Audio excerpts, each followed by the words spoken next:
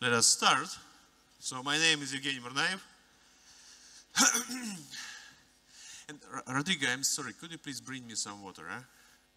I'm, I'm very sorry, but it's just not, not, there is no water here. Um, so let us start. So I'll describe, describe briefly with you some of our recent uh, findings on how we can apply convolutional neural networks to process uh, so-called 3D, 3D, data.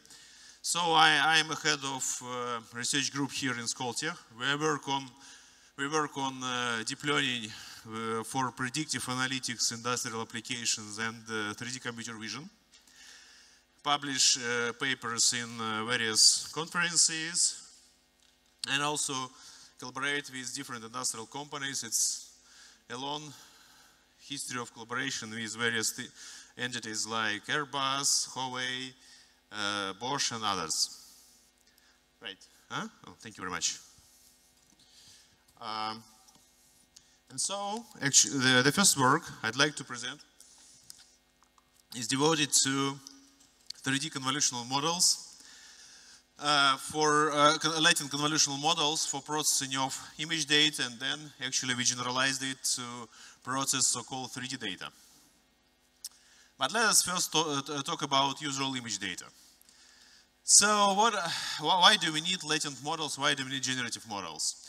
We have some uh, latent space Z, uh, say sphere in some Euclidean space, and we construct a mapping from the space to the space of images uh, realized by a neural network parameterized by the vector of parameters theta.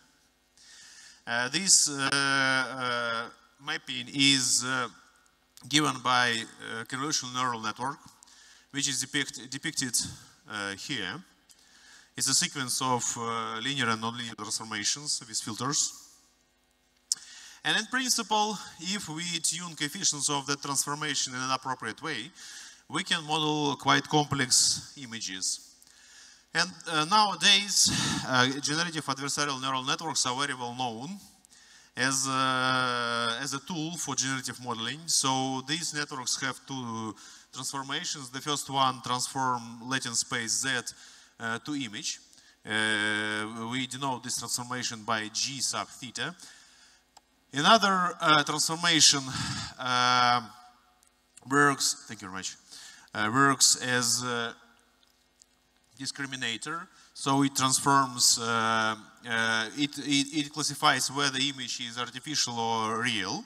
And it transforms uh, any of images to the, the corresponding label. And though these two models compete with each other in order to get the highest possible accuracy. Uh, and uh, uh, in case of generative models, we just have one mapping which maps latent, uh, uh, latent vector to, to an image. Uh, and if we sample in the latent space, then we can generate images which I denote here by x1, x2, etc., x, sub n. And uh, uh, actually, um, uh, nowadays, um, uh, these generative models allow to model images quite accurately, like, uh, for example, here, it's a well-known model called progressive GANs. Uh, however, the, all these models have a lot of drawbacks, actually. Uh, I will uh, comment on this a little bit later, but first let, us let, let, me explain why do I need a generative model, how I can use it. Uh, actually, I can use the generative model in order to perform image uh, restoration. So let us assume that we have some generative model, the, uh, G sub theta, and I have an image which I denote here by Y. So uh, this image uh, is given in some low resolution. And, uh, or for example, this image uh, has some missing pixels and I would like to recover either the resolution of the image or I would like to recover the, those missing pixels. And so, uh, uh, uh, in order to do this, I can construct a probabilistic model as follows. I impose some prior on latent uh, space. This prior is denoted by P of Z. And also I have a likelihood which is denoted here by P of Y given uh, G of Z. This is the distribution of image uh, pixels given some particular latent uh, vector and uh, G of Z is a mapping from latent space to an image space. And then I uh, can uh, find uh, arg uh, optimum, arg maximum of this log likelihood. That is, I find uh, the most probable latent vector corresponding to a particular image. And then I uh, can, but, but, actually this likelihood, it can be evaluated using only those only, only known pixels of, of the image. Uh, so uh, by y here in the log likelihood, I put only those pixels for which I know values.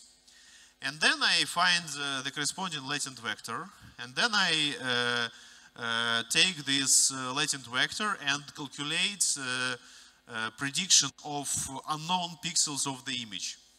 In this way, I can recover missing pixels of the image. Or I can, for example, recover additional pixels in order to increase the, in order to increase the resolution of the image. And so uh, this is uh, obvious way how we can use uh, uh generative model for image restoration. And actually, uh, uh,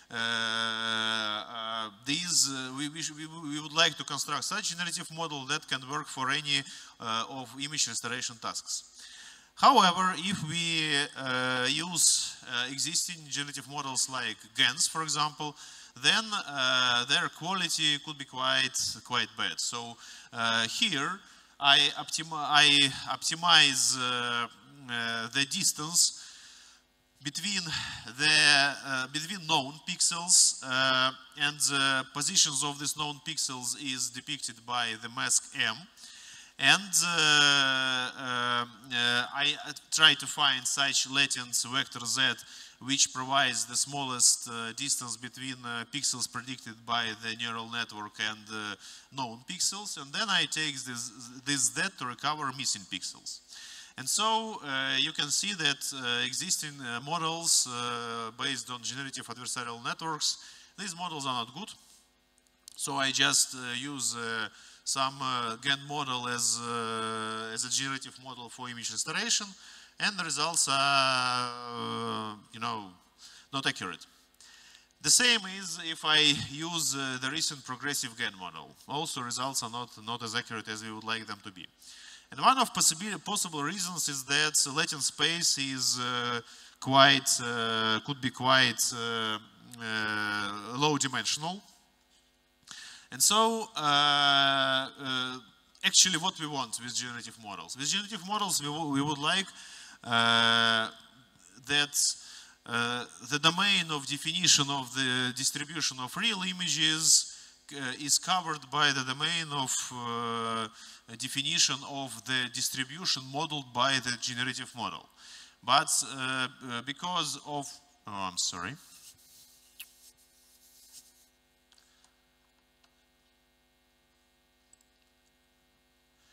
But because uh, uh, uh, in this case,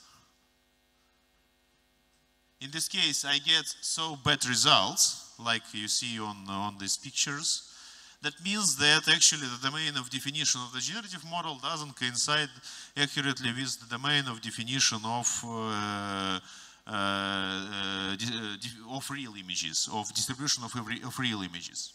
So it's like, uh, like is depicted here. By uh, blue, I depict the main definition of real images, and uh, using GAN, we can cover only small, small, a small part of it.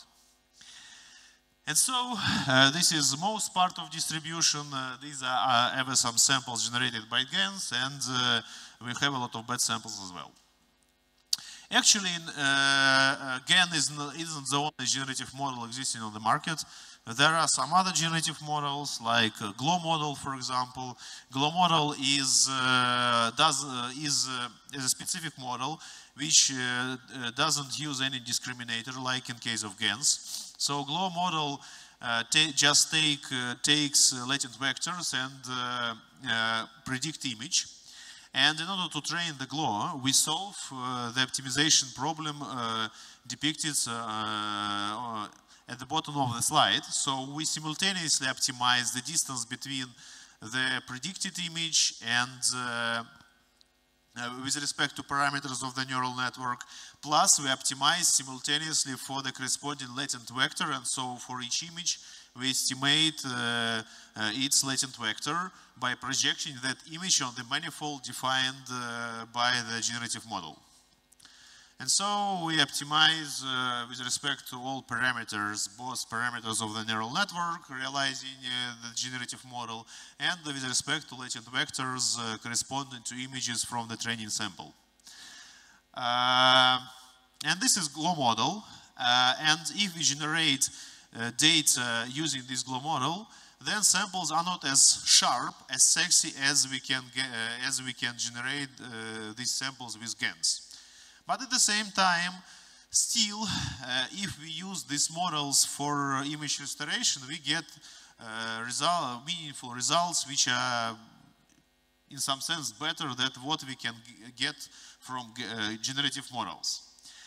And so uh, the question is how we can merge the, uh, how we can improve this GLO model in order to get sharper, significantly sharper results and results with high resolution as in case of GANs, but at the same time uh, to, to, be able to, have uh, all those nice latent vectors, because if you have latent vectors, we can generate uh, new images and uh, perform other image restoration tasks. this is the research question we would like to solve. And now let us uh, discuss some other interesting model. It was uh, developed by Ulyanov and Lempitsky uh, some time ago. It's uh, called Deep Image Prior. I guess some, uh, some of you already heard about it. So the model is quite, uh, quite unusual and interesting. We just have a neural network and we don't train that neural network on thousands, hundreds of thousands of images. We just feed that neural network to the image uh, we fix the input to the neural network that is latent vector. This latent vector is always fixed. We randomly generate it. And we just uh, minimize the distance between uh, the prediction of the convolutional neural network and the existing image with respect to parameters of uh, the neural network. So actually, in this case, our latent parameters are not uh, uh, used as input to the neural network. In this case, we use as input as latent parameters just filters of the convolutional neural network. And thanks uh, to the special structure of convolutions, thanks to the special structure of those filters, actually that convolutional neural network uh, is uh, quite good uh, already, is, is a strong prior on, on the image. In this picture, I depicted how we can recover uh, an image uh, from uh, the corrupted one. so on the left, there is a corrupted image. a lot of pixels are missing. So we uh, minimize the distance between known pixels and those pixels predicted by the convolutional neural network. We minimize the distance with respect to filters of the neural network. Uh, and uh, that means that we only have one image in the training sample. And then we uh, predict all missing pixels uh, as the output of the neural network. And you see that the reconstruction is very good. Uh, and let me just, uh, actually the structure of the deep image prior is quite simple, I mean architecture. It's like, uh, uh, it's very similar to UNet with skip connections. So there is a sequence of filters, uh, of uh, decreasing demand uh, size, and then the, the, second half of their net network it's, consi it consists of filters with increasing size. And actually, here is how uh, we can uh, reconstruct uh, image using that approach. We take the image with a lot of missing pixels. We start to minimize um, start to feed the neural network to known pixels uh, by minimizing the distance with respect to filters of the neural network. And uh, on the next slides, you will see how gradually we will start predicting uh, all pixels in the image. So on the first iterations of the gradient descent, result is very bad. Then uh, step by step, we start to improve quality. And at the end, you see these uh, accurate predictions. Uh, so uh, uh, that means that uh, the deep image prior is a quite good, is a strong prior for images. However, if we try to solve other image reconstruction tasks using such prior, we will not get good results because, for example, you will not be able to model faces using deep image prior because, you know, uh, faces, uh, uh, they are very different from uh, pictures like this. Uh, because uh, the, this picture it has a lot of a lot of uh, uh, repeating structures and uh, uh you don't need uh, additional information from other other pictures you in some sense just can copy paste some parts of the picture to reconstruct other parts of the picture because different parts of the picture are very similar. In case of uh, images with faces, you can't uh, expect uh, that these uh, will work. And so uh, the, uh, the question we tried to solve was how we can combine ideas of classical GLO models, classical generative models with this novel idea of deep image prior.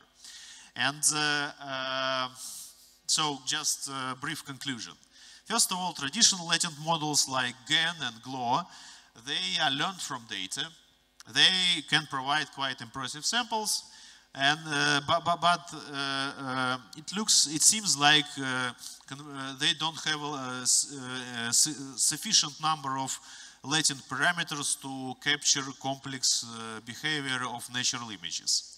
Deep image prior, on the opposite, in deep, at the same time, deep image prior uh, have, uh, has a lot of uh, latent parameters because these latent parameters are filters of the neural network and uh, in a near, near real convolutional neural network you may have like tens of and hundreds of thousands of uh, parameters. At the same time, uh, at the same time, with deep image prior, uh, you can't uh, construct uh, good image restoration. Uh, you can't perform good image restoration because deep image prior uh, isn't, you don't train it on samples of images, of natural images. It can't adapt to a specific image class. and so the, the, question is how to combine these two things. And let me and, and as, a, as, an answer to this question, we developed an approach uh, which is uh, kind of a combination of GLO model and deep image prior. So the idea of the model is quite simple. Uh, we have uh, a big neural network. The first part of that neural network is uh, corresponds to uh, deep image prior.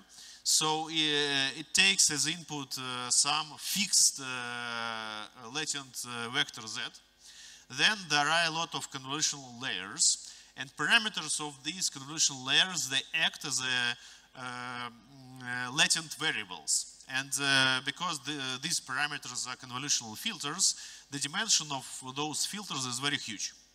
But thanks to the special structure, uh, we, uh, we impose a very strong prior on uh, these convolutional filters. Uh, and then uh, output of that uh, convolutional neural network is used as input to another UNet-like UNet -like, network, which acts as a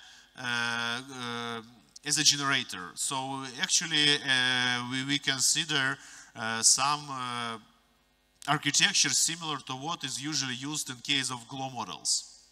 And so, as training data, we have a sample of n images, x1, x2, etc., xn.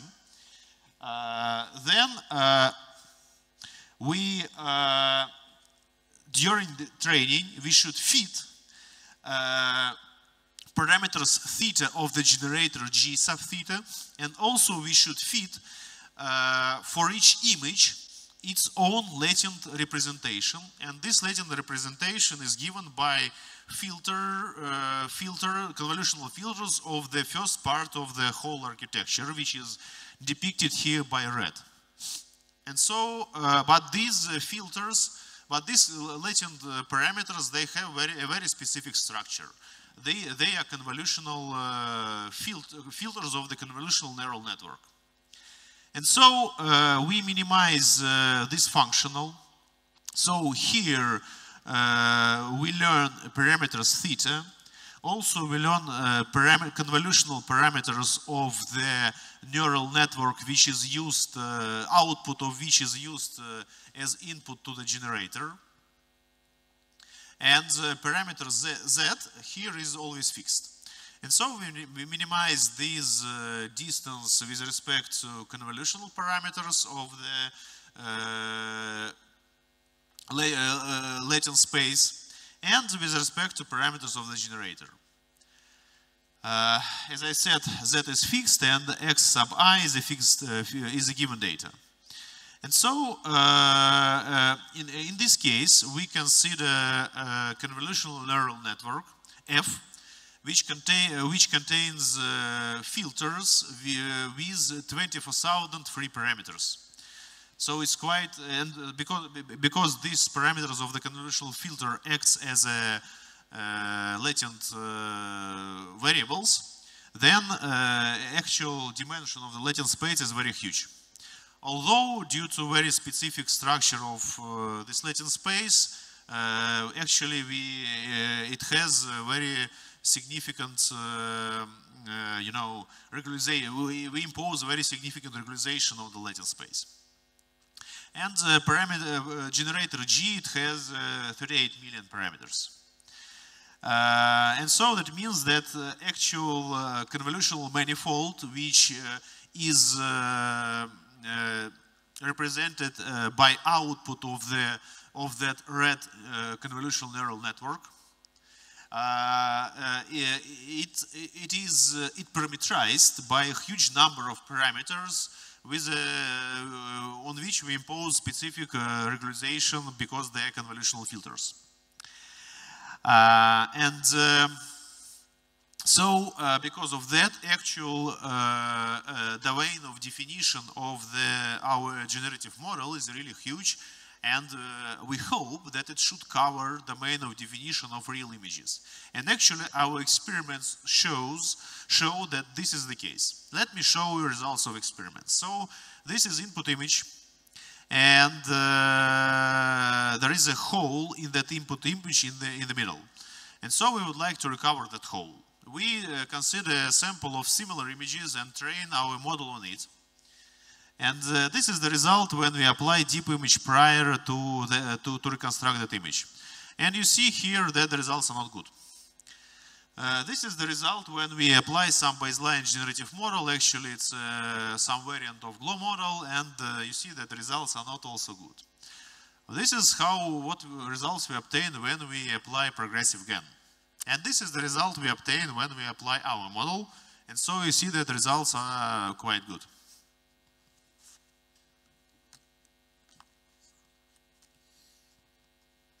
Uh, uh, and uh, this is uh, the metric we, we, we optimize. So we take our model, we fix the input vector z, we optimize the function uh, f, uh, which is given by a convolutional neural network with respect to convolutional parameters. Uh, in this way, we obtain uh, such latent representation for our image x, uh, which provides uh, the smallest distance between the output of the generator and uh, known pixels of the image. And then we, we can recover other pixels of, of, the image by the output of the generator. Uh, here is another result. So here you see how we, we can improve resolution of the image. So uh, the first uh, uh, image, I mean, the first result of increased resolution is produced by a bilinear filter. Then we also apply some baseline and also we apply uh, our generative model and uh, results are better. Actually, we made some uh, user study and uh, people select our results uh, corresponding to our model significantly more often than results uh, corresponding to other models. Uh, this is, oops, sorry. So these are results of extreme image painting. So we have three column, three blocks of columns. Each block corresponds to a particular per person. So, uh, to a particular method, sorry.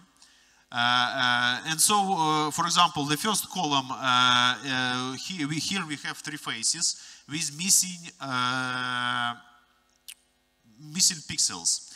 Uh, and uh, on, uh, the, on the, the, first column, these are results provided by baseline model. The second column, results for the same faces but provided by our model. And so, for example, uh, uh, you can see that, uh, let me show you with a mouse. For example, here, results provided by results provided by uh, the comp uh, com competitive model, I mean, uh, they are quite bad, and the results in the column number four, these results provided by uh, our model, these are results significantly better. So th there, are, there are significantly less distortions, uh, uh both according to some formal uh, numerical method, metrics and uh, uh, and with respect to user study results, results of user study. Uh, the same case, it's extreme image painting, so we use baseline. So uh, for each uh, group of images, the left image is uh, obtained uh, using baseline model and the right image is obtained using our model. And so we see that, uh, of, co of, course, it's impossible to impaint uh, the second half of the image. It's just impossible. But in principle, at least we should interpolate uh, the second half of the image with something meaningful. And so here you can see that uh, for images on the right, we can interpolate something meaningful which reasonably interpolates missing pixels. But uh, in case of uh, left images, uh, images on the left, the results are quite bad. Uh, these are results for super resolution. So of course, again, it's not possible to uh, get uh, to improve, significantly improve resolution of images because here you just don't have enough information uh, to get real uh, details. But still, we would like to interpolate uh, uh on these uh, low resolution images to put there something meaningful which can uh, help to something meaningful which can reasonably uh, visually plausible interpolate uh, these low resolution images. And uh, we obtain quite, quite good results here. Although these, are, these people doesn't exist in, actually doesn't exist, and these results are not real. Uh, so it's only in, uh, you know, in spy movies they can just uh, zoom in uh, the car plate and finally get some numbers on it. Actually, it doesn't work, but still this shows that our generative model is quite uh, strong in uh, imposing uh, good image prior. Uh, the same we can do with image colorization. So these are results of image colorization based on our generative model. And uh, these are results uh, based on uh, the best baseline model. And so we see here that uh, our model provides uh, more reasonable uh, colors, distribution of colors than more competing models. Um, actually, this type of things can be applied not only for two-dimensional images, but of course we can generalize all these results to three-dimensional case. Actually, actually, uh, nowadays there are a lot of data which comes from three-dimensional sensors. For example, uh, data from lidars, data from structured light cameras, uh, data uh, say from MRI or fMRI, which is very important for medical applications. And uh, all this data is not a typical image data because it has uh, specific uh, representation in the form of point clouds, in the form of images with depth, or it, it can be some, and for example, lidar data also is also represented in the form of point clouds, but with a very specific structure. It's uh, it's a date. It's a date uh, with very sparse distribution of points, a lot of uh, occlusions, a lot of missing values, and uh, uh, typical convolutional neural networks are ju just not well suited to process this data. Moreover, uh, you can't use standard accuracy metrics to estimate results of processing of this data because uh, what is good for images may not good for point clouds and vice versa. And so, uh, because of that, uh, currently there is a big interest in uh, processing of three-dimensional data, uh, like especially of data with depth, because modern mobile phones, they all of them have, I mean, modern mobile phones have uh, depth sensor in, in, them, so you can me measure depth. The main problem is that usually depth resolution is very bad. So uh, with RGB camera in uh, modern mobile phones, you can obtain uh, good resolution, but uh, with depth, with the, the, the, existing depth sensors provide only low resolution uh, depth uh, images. And so the problem is uh, that we need to increase, uh, increase uh, depth resolution. And uh, uh, here are the results, our recent results on depth super resolution. Actually, the problem statement can be formulated as follows. So in, this, in this project, we considered depth, monocular depth super resolution. As input, we take some image, and uh, also uh, with that image we have a depth map. So this here depth map is uh, represented also as an image, but actually uh, each pixel of that image is a distance between uh, the camera and uh, the corresponding point on, on the object. And what we want, we want to construct, with taking as input these two data sources like RGB camera image and depth sensor image, we would like to produce uh, fastly uh, uh, depth uh, image with uh, increased resolution. And uh, what is important is that we can't estimate quality of that depth resolution because super resolution using a typical image metrics like uh, we can't use here L2 error, we can't use here L1 error because uh, all these errors, uh, typical errors, are not uh, do not uh, correlate uh, with human perception, how a person really, what a person really consider to be visually plausible result or not plausible result.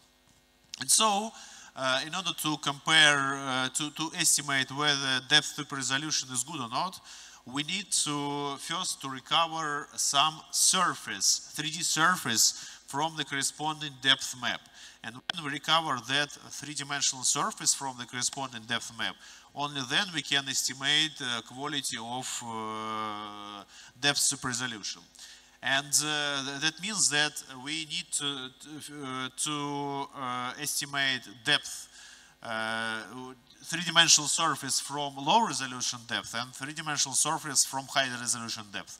And then uh, compare uh, the uh, results with ground truth. And here, oops, I'm sorry, what is it? Yeah. And here you see some our results. Actually, these results are based on some variant of uh, that uh, generative model. So in the first part of my uh, presentation, I uh, discussed with you a generative model. And uh, then we adapted that generative model to, uh, to we added additional channels inside that generative model to process not only image data, but also to process uh, depth map. And so uh, the left uh, uh, three-dimensional surface is obtained from the ground truth depth map in a high resolution. The middle uh, three-dimensional surface, and you he see here a lot of distortion, so that uh, three-dimensional surface is obtained from uh, result uh, results of depth super resolution obtained uh, using some state-of-the-art uh, depth resolution method. And on the right, we uh, these are results uh, uh, we, which we obtained using the proposed generative model. And so you see that there are no, almost no distortions and artifacts which, uh, which shows that uh, the proposed generative model is sufficiently strong and of course what is also another component which uh, was very important to obtain such nice results, it is a special uh, perceptual metric which takes into account how we perceive uh, three-dimensional surfaces recovered from depth map. so what I want to say, uh, in this uh, uh, set of work, papers, we developed some generative models and now we, we are working on how uh, these generative models and other uh, neural network uh, neural network architectures can be generalized to process various types of three-dimensional data. That is point clouds, uh, three-dimensional data represented as uh, voxels and others, other types. Actually, this is not the only uh, this is not the only uh, example of three-dimensional data which we uh, which we need to process. For example, recently we published uh, work at CVPR uh, about uh, geometric deep uh, a data set for geometric deep learning. So it's a big data set of CAD models with meshes, with nice meshes, and also it contains a lot of characteristics of those CAD models.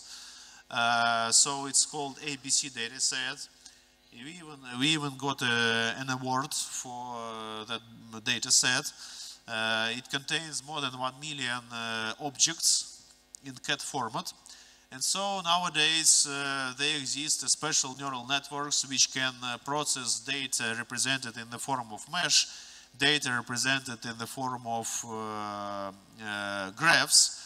And uh, it's very important to have benchmarks uh, for such techniques. And for that we need big data sets with baselines calculated on those data sets. And so this is uh, uh, the step one of state-of-the-art data sets that can be used for these type of tasks. Uh, we uh, can, so the, here you in the in the table uh, on the left you can see some comparison of these uh, thing of this data set with other existing data sets. so it's very big, scalable. It contains a lot of uh, features uh, for three-dimensional objects and because of that it can be used to train neural networks to process geometrical data.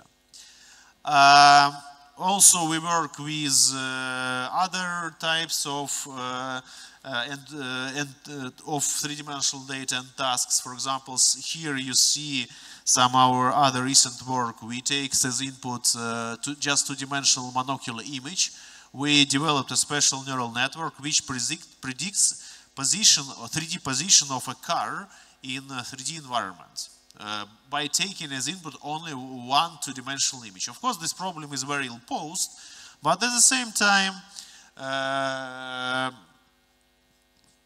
because we train the neural network on a big sample of uh, three-dimensional data with known positions of cars, Still, in case uh, on the image all cars, all uh, position of all, of all cars can be, if uh, positions of, of, all cars on the image uh, is uh, visible and uh, there are no occlusions, then this neural network trained on a big data set of three-dimensional data can resolve three-dimensional positions of cars using as input only two-dimensional data.